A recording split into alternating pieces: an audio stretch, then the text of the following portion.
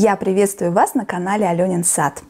Напоминаю, что 1 февраля у нас был посев эустомы. Почему у нас? Потому что вместе со мной сеяли несколько моих зрителей. И поэтому у нас такая, как бы получается, даже некий марафон по посеву эустомы. Напоминаю также, что есть группа у меня ВКонтакте Аленин сад, и там я сделала фотоальбом, и там можно сделать э, записи, добавлять фотографии вашей эустомы. Неважно, что вы ее, например, посеяли, может быть, раньше или позже. Все равно всем будет интересно посмотреть, как у других обстоят дела, сравнить, потому что для многих эта культура новая, и э, многие нюансы мы пока что еще не выяснили, мы в процессе. Также можно делиться этой информацией в Инстаграме. Добавляйте хэштег эустома, нижнее тире Аленин сад. И с помощью этого хэштега мы сможем сравнивать результаты друг друга. Сегодня уже 18 февраля. На большинстве упаковок и в интернете указан срок прорастания семян эустомы в 22-25 дней. Очень длительный срок. И первое, что я проверяла, будет это так или нет. И, конечно же, оказалось, что это совсем не так, вообще далеко не так. У некоторых э, эустомов сходит уже на седьмые сутки. У меня первые всходы появились 9 февраля. Эустома, уже взошедшая, не взошедшая, стоит у меня под фитолампой. И был первый вопрос еще в прошлом видео, закрывала ли я сверху пленкой. Я просто не стала этого показывать, потому что это уже, на мой взгляд, элементарная вещь. Но вот нужно, оказывается, людям показывать все от и до обязательно. Вчера вышло видео о посевах в теплице, и там я не показывала, что я их поливала. И последовал тут же вопрос, нужно ли поливать посевы. Конечно, любые посевы нужно поливать. И здесь вот такусенькие всходы видны, все-таки видны, ура, ура, всходы эустомы. И вы видите, что никакой стопроцентной схожести, конечно, нет. Об этом позже я расскажу.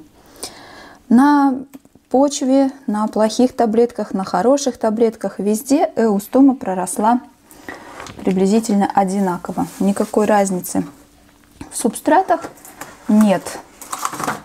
То есть есть разница в качестве семян, конечно же, но не в субстрате.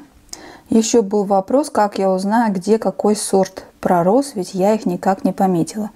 На самом деле, видите, я все пометила. Я написала цифры на боковых стенках контейнеров. И все. И сделала таблицу. Вот это плохие таблетки. Видите, здесь тоже все, что должно было прорасти, проросло. Что не должно было, то не проросло, видимо. Дальше был вопрос про то, как убирать пленку после того, как появились всходы. Вот сегодня я сняла все, всю пленку я сняла. Вот так вот просто взяла и сняла. Потому что у эустомы очень крепкие всходы. Они такие прочненькие, крепенькие. Это не всходы лобелии на самом деле. Или земляники, которым нужна высокая влажность, которые как только уберешь крышечку резко, так они могут и засохнуть. Нет, она вот потом и будет отличаться всю дорогу, всю свою жизнь она будет отличаться такими кожистыми, крепкими листьями, которые устойчивы ко всему. Видимо, она растет где-то в более засушливых регионах. Поэтому высокая влажность воздуха ей не очень-то и нужна. Но если вы беспокоитесь, то можно просто с утра опрыскивать ваши растения вот так вот прямо поверху. Опять же, всходы такие крепкие, что вот струя воды с ними ничего не сделает. Поэтому я вот бесстрашно вот такую процедуру утром проделываю. Если видите, что таблетки пересыхают, добавляйте вниз просто контейнера воду и все. Таким образом поливаете. Но если вы очень боитесь, то, конечно, можно постепенно приоткрывать пленку, постепенно ее снимать. Еще момент, если у вас еще не все э, гранулы эти дрожжи проросли, да, то есть вы еще в ожидании, то тогда пленку не снимайте, потому что те семена, которые только прорастают, собираются прорастать, они от этого притормозят и могут даже и вообще ну, не зайти в итоге. То есть я сняла сейчас пленку, потому что я знаю, что больше мне здесь уже ждать нечего. А пленка, в принципе, конечно же, задерживает свет. Поэтому лучше без нее будет теперь. Еще был вопрос про подкормки. Вот она взошла, вот мы открыли пленку, и она растет у нас. Что с ней теперь делать? Как бы, конечно, очень сильно хочется вот этих вот малюсеньких-малюсеньких товарищей разогнать, и чтобы они побыстрее как-то начали расти. Кажется, что пора их подкармливать. На самом деле нельзя сейчас их трогать и подкармливать. Нужно подождать, когда у них вырастут настоящие листочки. Вот вырастут настоящие листочки. Первый покажется листочек, и сразу можно подкормить удобрением, жидким удобрением, можно с гуматами, с микроэлементами. Минеральное удобрение можно жидкое использовать, комплексное. Будет только на пользу. Об этом на некоторых упаковках производители так и пишут. Итак, вы видите таблицу, в которой я вот заморочилась и все-все подробно расписала и даже рассчитала, построила график прорастания семян, количественные характеристики определила. И давайте смотреть, что же получилось. У меня эксперимент начинался с того, что часть таблеток я поставила на свет под фитолампу, потому что бытует мнение о том, что в стоме нужен свет для прорастания. И часть у меня стояли на радиаторе отопления. Температура на подоконнике под лампой была около плюс 18, плюс 22. На батарее температура была плюс 27, плюс 30. И первые всходы появились как раз таки в темноте при высокой температуре. Подождав пару деньков, я решила, что все-таки не нужен свет для прорастания эустоми, гораздо важнее температура прорастания. И поэтому я поставила эти все контейнеры на радиатор. И это сработало, посмотрите, 12 у меня появились массовые всходы, 13 14 пошел на убыль процесс, и вот только сегодня, 19 у меня взошло еще 3 сеянца. Но основная масса, конечно же, с 11 по 15, то есть эустома в основном прорастает с 11 по 15 день, а никак не с 20 по 25.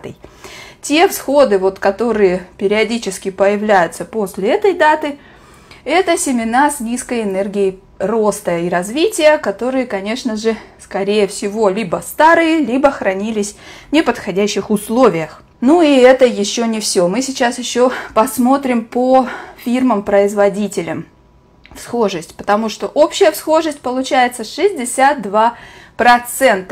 Напоминаю, что посеяла я 29 дрожжей.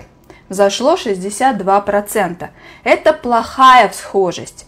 Но так как производители все разные, то нужно отметить каждого. Гибрид Mage Blue. Всхожесть 50%.